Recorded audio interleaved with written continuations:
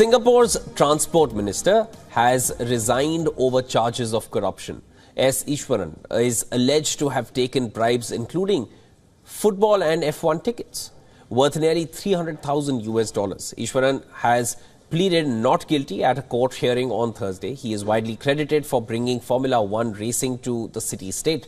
Iswaran now faces fines and a jail term of up to seven years over 27 charges. 24 of them involve obtaining gratification as a public servant. He is also accused of receiving nearly 300,000 US dollars from billionaire Ong Beng Seng.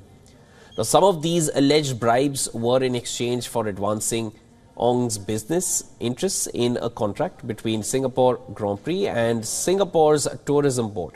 Iswaran is also accused of obtaining tickets to the Singapore Grand Prix and football and taking trips on Ong's private plane.